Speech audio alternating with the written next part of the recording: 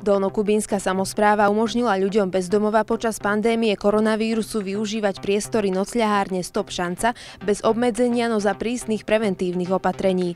Čas, ktorý trávili v zariadení, si začali krátiť pomocnými prácami a drobnými opravami okolia. Myšlienka vzýšla priamo od ľudí bez prístrešia. Pomáhajú nám tu na rôznych prácach, ktoré vykonávame na údržbe zimného štadiona. Momentálne jedna časť opravuje prepadnutú cestu okolo zimného štadiona, ktorá je zo zamkovej dlažby, čiže opravujú túto zamkovú dlažbu. A druhá skupina pracuje momentálne na futbalovom štadióne, kde čistia ochozy, ktoré vlastne sú po po jari zanesené a zarastené rôznou burinou. Netreba ich nejakým spôsobom zaškolovať. Sú to šikovní chlapci a viac menej prácu, ktorú vykonávajú, robia veľmi seriózne, zodpovedne a z ich prácou, ktorú robia, sme veľmi spokojní.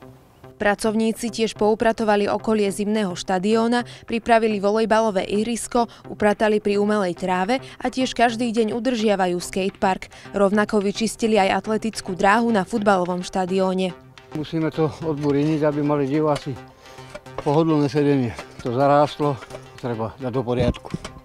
Robil aj záhradníka 5 rokov, tak ovládam takéto. Či treba na ľadovom štadióne, či futbalovom, či na ihriskách, čo sú plážové, volejbal a také. Čo treba, čo nám vedúci povie, tak to spravíme.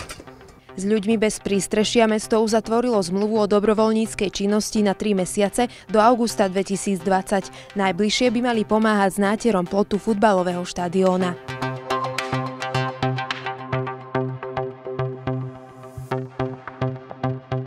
Zamestnanci mesta za zvýšených hygienických opatrení začali v týchto dňoch roznášať obyvateľom rozhodnutia o výmere miestnych daní a poplatkov. Mesto Dolný Kubín ako správca dane a poplatku za komunálny odpad a drobný stavebný odpad pristúpilo z dôvodu mimoriadnej situácie aj k zmene termínu ich splatnosti. Výška miestnych daní a poplatkov však ani v tomto roku nestúpla.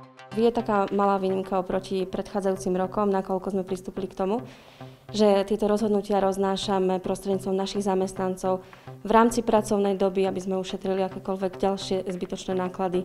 Keďže sa rozhodnutia doručujú do vlastných rúk, je potrebné, aby išli s špeciálnymi obalkami na doručenku a tieto sú pomerne drahé cez poštu, takže to riešime tak, že naši zamestnanci chodia osobne. Poslednej dobe sme zaznamenali, že v mestách po Slovensku sa tvoria veľmi veľké rady pred mestskými, respektíve obecnými úradmi na to, aby občania si uhradili tieto poplatky. Preto sme sa rozhodli ich roznášať postupne po jednotlivých uliciach, dokonca po panelákoch, aby sme zabezpečili to, že sa nám tu nebudú tvoriť veľké rady, aby sme boli ústretoví voči občanom, aby sa nemuseli zhromažďovať. Takisto sme prijali ešte jedno opatrenie. Zriadili sme príručnú pokladňu, ktorá výnimočne tento rok nebude prístupná z vnútramestského úradu, ale z bočného okienka, ktoré bude riadne označené. Bude tam naša zamestnankyňa, takže prípadní čakajúci sa budú môcť rozdeliť či už do hlavného vchodu alebo z boku budovy cez špeciálne pripravené okienko. Mesto však vyzýva obyvateľov k bezhotovostnému spôsobu úhrady. Obálok je takmer 19 tisíc prípade, že teda ich nezastihnú doma, budú vyzvaní už prostredníctvom pošty. Preto by som veľmi chcela poprosiť občanov, aby boli ústretoví. Budeme sa snažiť oznámiť hlavne v bytových domoch, aby boli počas roznášania doma. Budeme to komunikovať s domovými dôverníkmi, aby informovali svojich obyvateľov, že v tom čase budeme roznášať rozhodnutia.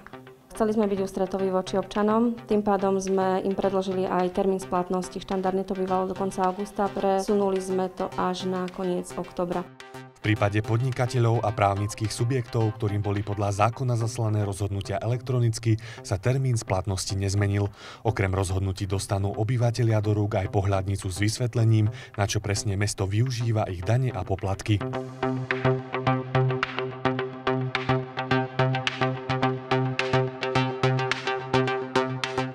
Historickom cintoríne vznikli nové prírodné chodníky.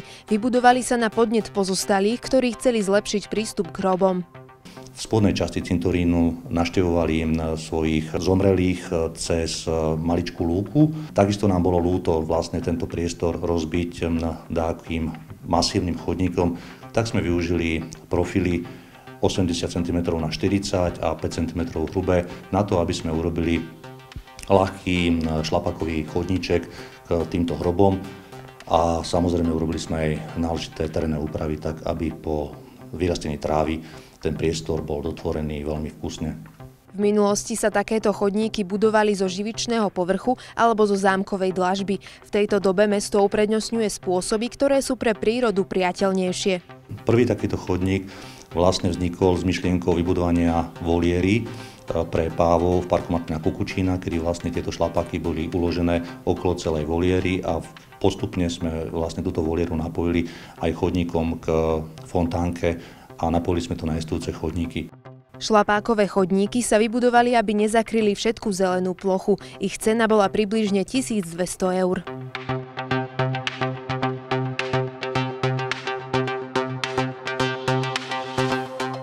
1. júna mesto opätovne nabieha na systém plateného parkovania. Do pôvodného režimu sa vracia aj mestská autobusová doprava.